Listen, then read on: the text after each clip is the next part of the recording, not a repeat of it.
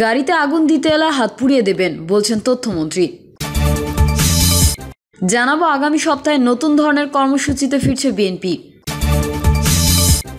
এদিকে উনিশ নভেম্বর ঘোষিত হতে পারে নির্বাচনী তফসিল। কাশিমপুর কারাগারে আরেফি দেখা নেই স্বজনদের। এবং সর্বশেষ জানাব, ফাঁকা রাস্তায় ব্রেক ফেল, মগবাজারে বাসের ধাক্কায় রিক্সা আরোহী নিহত। এতক্ষণ শুনছিলেন সংবাদ শিরোনাম, এবারে বিস্তারিত। তবে তার আগে অনুরোধ থাকবে আমাদের চ্যানেলটি সাবস্ক্রাইব করে বেল আইকনটি ক্লিক করুন। গাড়িতে আগুন দিতে এলে হাত পুড়িয়ে দেবেন, বলছেন তথ্যমন্ত্রী। আওয়ামী লীগের যুগ্ম সাধারণ সম্পাদক এবং তথ্য সম্প্রচার মন্ত্রী ডক্টর হাসান মাহমুদ বলেছেন, গাড়িতে লাঠি ও লোহার রড রাখবেন। বিএনপি জামায়াতের সন্ত্রাসীরা আগুন দিতে এলে তাদের হাত পুড়িয়ে দেবেন। তথ্যমন্ত্রী বলেন, নির্বাচন সংবিধান অনুযায়ী যথাসময় হবে। বিএনপি দলীয়ভাবে নির্বাচনে না এলেও তাদের অনেক নেতাকর্মী নির্বাচনে অংশ নিতে বসে আছেন। এখন বিএনপির অনেক নেতা তারেক রহমানের ওপর ক্ষুব্ধ। বিএনপি নেতাদের অনুরোধ করব, সন্ত্রাস পরিহার করে নির্বাচনে আসুন। তিনি আরও বলেন, বিএনপি জামায়াত অবরোধ কর্মসূচি ঘোষণা করে গুহায় ঢুকে গেছে। তাদের কর্মসূচি মানুষ আর গাড়ি পোড়ানো। আমরাও বিরোধী দলে থেকে আন্দোলন সড়ক অবরোধ করেছি, কিন্তু কখনোই রাষ্ট্র কিংবা জনগণের ক্ষতি করিনি। বিএনপি জামায়াতের দুষ্কৃতিকারীদের ধরে পুলিশে দিতে হবে। ডক্টর হাসান মাহমুদ বলেন, সরকারি দল হিসেবে মানুষের শান্তি নিশ্চিত করা আওয়ামী লীগের দায়িত্ব। এই জন্য আমরাও সারা দেশে অবস্থান কর্মসূচি পালন করছি। আমাদের সহিংসলতার বাদ ভেঙে গেছে, কিন্তু আমরা আইন হাতে তুলে নিতে চাই না। আগামী সপ্তাহে নতুন ধরনের কর্মসূচিতে ফিরছে বিএনপি। সরকার চাইছে বিএনপিকে ঘরে তুলে রেখে নির্বাচনী পরিক্রমা পার করতে। এমন সম্ভাবনাকে সামনে রেখে নতুন করে সরকার পতনের কর্মসূচি প্রণয়নের চিন্তাভাবনা চলছে বিএনপি ও বিরোধী দলগুলোতে। এক দফা দাবিতে অনুষ্ঠিত দ্বিতীয় দফার অবরোধ শেষে নতুন করে বুধবার ও বৃহস্পতিবার অবরোধ ডেকেছে এই দলগুলো। দ্বিতীয় দফা অবরোধের দ্বিতীয় দিনে সোমবার বিভিন্ন বিরোধী দলের শীর্ষ নেতাদের পর্যবেক্ষণ হচ্ছে। তুলনামূলক অবরোধ কর্মসূচি ঢিলে ঢালাভাবে হয়েছে। কাজের তাড়নায় মানুষ কাজে যোগ দিয়েছে। রাস্তায় ছিল অন্য দিনের তুলনায় বেশি যানবাহন। একাধারে অবরোধ চলায় ঢাকায় পণ্য সরবরাহের ঘাটতির কারণে বাজারে মূল্য বৃদ্ধি হয়েছে ব্যাপক। এই বিষয়টিকেও আমলে নিয়েছে নেতারা। নেতাদের দাবি, ক্ষমতাসীনরা চাইছে বিএনপিকে ঘরে তুলে রাখতে। সম্প্রতি আওয়ামী লীগের শীর্ষস্থানীয় নেতাদের বক্তব্যে সেটা স্পষ্ট হয়েছে। নেতারা বলেছেন, তারা ইতোমধ্যে বিশ্লেষণ করেছেন, বিএনপি ও বিরোধী দলগুলোর অবরোধ কর্মসূচি আগামী দশ দিনের মধ্যে সরকার কন্ট্রোলে নেবে। যেভাবে পুলিশ মামলা দিয়ে নেতাকর্মীদের ঘরবাড়িতে তল্লাশি করে আতঙ্কের পরিবেশ সৃষ্টি করেছে, তাতে দশ দিনের মধ্যে পরিস্থিতি কন্ট্রোলে নেবে তারা। বিরোধী দলের একাধিক নেতা বাংলা ট্রিবিউনকেও জানান, অবরোধের মধ্যে টানা থাকলে জনমনে অসন্তোষ হতে পারে। যদিও এই সাময়িক অসুবিধা রাষ্ট্র মেরামতের লক্ষ্যে বলে শীর্ষ নেতারা জানিয়েছেন, এ কারণে চলতি সপ্তাহে অবরোধ থাকবে। তবে আগামী সপ্তাহের কর্মসূচিতে ভিন্নতা আসতে পারে। এ বিষয়টিতে সায় পাওয়া গেছে বিভিন্ন স্থায়ী কমিটির সদস্যদের বক্তব্যেও। দলের উচ্চ পর্যায়ের একজন দায়িত্বশীলের ভাষ্যে, বিএনপি সহ বিরোধী দলগুলো এখন খাঁচায় ছটফট করছে। চলমান কর্মসূচির বাইরে যাওয়ার কোনো সুযোগ নেই। দলের কোনো কর্মী ও নেতা বাসায় ঘুমাতে পারেন না, এমনকি গ্রামেও। বিরোধীদের সামনে আপাতত বিকল্প নেই। এই কারণে নেতাকর্মীরা সারা দেশে তৎপর। প্রতিদিন সকাল সন্ধ্যা পিকেটিং হচ্ছে। প্রভাবশালী এই দায়িত্বশীলের দাবি বিরোধীদের সামনে কেবল দুটি পথ। একটি সরকার তৈরি করে দিলে বা আন্তর্জাতিক গোষ্ঠীর মধ্যস্থতার মধ্যে দিয়ে। কারণ বিএনপি বিগত পাঁচ বছর ধরে রাজনৈতিক সভা সমাবেশে শান্তিপূর্ণ শব্দটিকে প্রাধান্য দিয়ে ব্যবহার করেছে। আঠাশে অক্টোবর সমাবেশ সফল হলে সরকারের কি ক্ষতি হতো, এখন পণ্ড করে কী লাভ হয়েছে বলে ব্যাখ্যা করেন এই দায়িত্বশীল। তার ভাষ্য, ওই মহাসমাবেশ করা ছাড়া বিএনপির সামনে কোনো বিকল্প ছিল না। সোমবার জানতে চাইলে বিএনপি স্থায়ী কমিটির সদস্য ইকবাল হাসান মাহমুদ টুকু বাংলা ট্রিবিউনকে বলেন, প্রমাণিত হয়েছে এই সরকার গণতন্ত্রে বিশ্বাস করে না। আমরা আছি অবরোধে, ওরা আছে আগুন সন্ত্রাসে। আমাদের নেতাকর্মীদের পরিষ্কারভাবে বলা আছে, গাড়ি ঘোড়ার আগুন দেওয়া যাবে না। সরকার দিচ্ছে আগুন রাষ্ট্রযন্ত্রকে ব্যবহার করে। তারা আগুন দিয়ে আমাদের ভাবমূর্তি নষ্ট করতে চায়। এবার আমরা সাংঘাতিক সতর্ক উল্লেখ করে সাবেক এই প্রতিমন্ত্রী বলেন আমাদের প্রোগ্রাম শান্তিপূর্ণভাবে শুরু হয়েছে। শান্তিপূর্ণভাবে চলছে। ভবিষ্যতেও চলবে। দলের মহাসচিব, স্থায়ী কমিটির সদস্য সহ যারা গ্রেফতার হয়েছেন, তাদের মুক্তির দাবিতে নতুন ধরনের প্রোগ্রাম আসবে বলে জানান ইকবাল হাসান। তিনি বলেন, গ্রেফতারের প্রতিবাদে কর্মসূচি আসবে, নতুন ধরনের প্রোগ্রাম আসবে। দলের দায়িত্বশীল এই নেতা উল্লেখ করেন, বিরোধীদের চলমান আন্দোলন ও সরকারের দমনপীড়ন অব্যাহত থাকলে সমাধানের পথ বের করা কঠিন। এক্ষেত্রে বিশ্ব জনমত মধ্যস্থতার কাজে আসতে পারে। তার দাবি, বিএনপির নেতৃত্ব বিশ্বাস করেন। গণতান্ত্রিক কর্মসূচির মধ্যে দিয়ে ভোটাধিকার ফিরে আসবে। উনিশ নভেম্বর ঘোষিত হতে পারে নির্বাচনী তফসিল। আগামী দ্বাদশ জাতীয় সংসদ নির্বাচনের তফসিল উনিশ নভেম্বর ঘোষণা করা হতে পারে বলে নির্বাচন কমিশন সূত্রে জানা গেছে।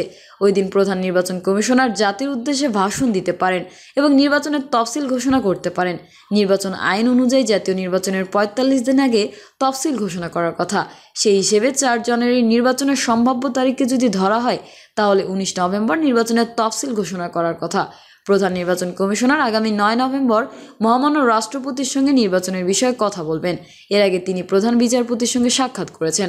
রাষ্ট্রপতির সঙ্গে প্রধান নির্বাচন কমিশনার এবং অন্যান্য কমিশনারদের সাক্ষাতের কথা ছিল গত নভেম্বর।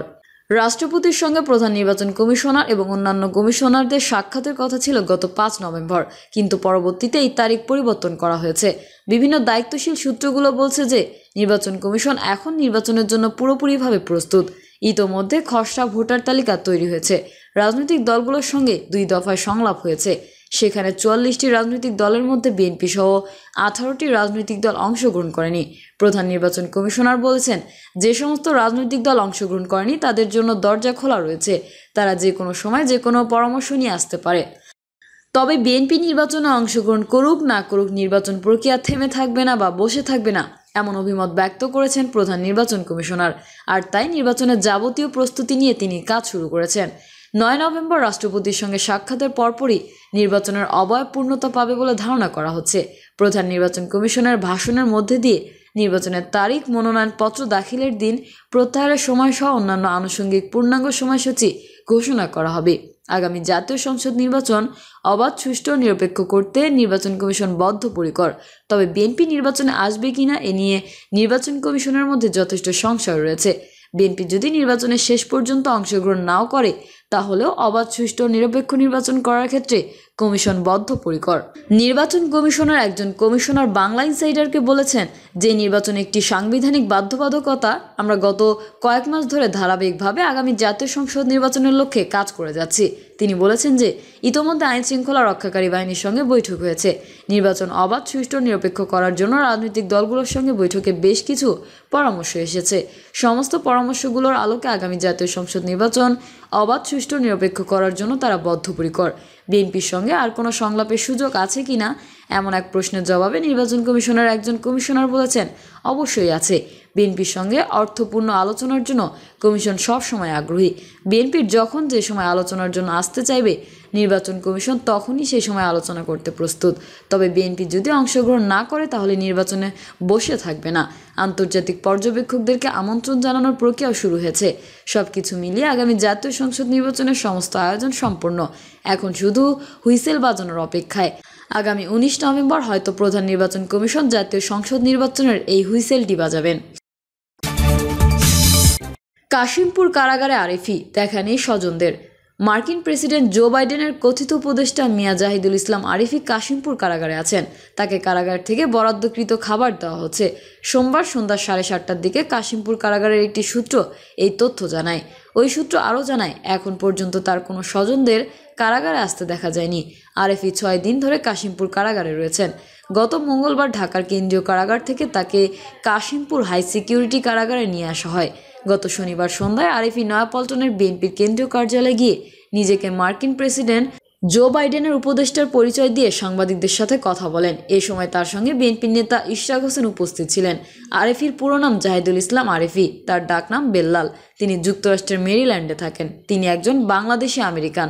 জন্ম ও বেড়ে ওঠা সিরাজগঞ্জ জেলার উল্লাপাড়ায়। তিনি মাঝে মাঝে বাংলাদেশে আসেন। গত রোববার যুক্তরাষ্ট্রে চলে যাওয়ার সময় গোয়েন্দা পুলিশ হজরত শাহজালাল আন্তর্জাতিক বিমানবন্দর থেকে তাকে গ্রেফতার করে। ফাঁকা রাস্তায় ব্রেক ফেল, মগবাজারে বাসের ধাক্কায় রিক্সা আরোহী নিহত।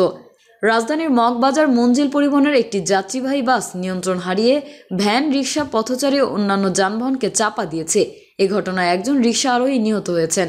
এছাড়া আহত হয়েছেন অন্তত আটজন। তাদের মধ্যে তিনজনের অবস্থা গুরুতর। এ ব্যাপারে রমনা থানার ভারপ্রাপ্ত কর্মকর্তা আবুল হোসেন বলেন, মগবাজার ওয়ারলেস গেট এলাকায় ফ্লাইওভার থেকে নামার সময় মঞ্জিল পরিবহনের একটি বাস নিয়ন্ত্রণ হারিয়ে ফেলে। এ সময় বাসটির সামনে থাকা ভ্যান, রিক্সা ও পথচারী সহ অন্যান্য যানবাহনকে ধাক্কা দেয়। এতে ঘটনাস্থলে একজন রিক্সা যাত্রী নিহত হন। খুবই গুরুতর অবস্থায় আহত দুজনকে জরুরি ভিত্তিতে ঢাকা মেডিকেল কলেজের হাসপাতালে পাঠানো হয়েছে আর পাঁচজনকে স্থানীয় কমিউনিটি হাসপাতালে পাঠানো হয়েছে। তিনি বলেন, আহতদের মধ্যে কারও হাত ভেঙেছে, কারও পা ভেঙেছে এবং কেউ মারাত্মক আহত হয়েছেন। ঘটনার পর প্রত্যক্ষদর্শী ও স্থানীয়দের তোপের মুখে বাসটির চালক হেলপার পালিয়ে যায়। খবর পেয়ে পুলিশ ঘটনাস্থলে পৌঁছে বাসটি হেফাজতে নেন। বাসটির চালক ও হেলপারকে খুঁজছে পুলিশ। প্রিয় দর্শক, এই ছিল এখনকার সর্বশেষ সংবাদ। আপডেটের সংবাদ পেতে চ্যানেলটি সাবস্ক্রাইব করে বেল আইকনটি ক্লিক করুন। কমেন্টে আপনার মতামত জানিয়ে আমাদের সাথেই থাকুন। ধন্যবাদ সবাইকে, আল্লাহ হাফেজ।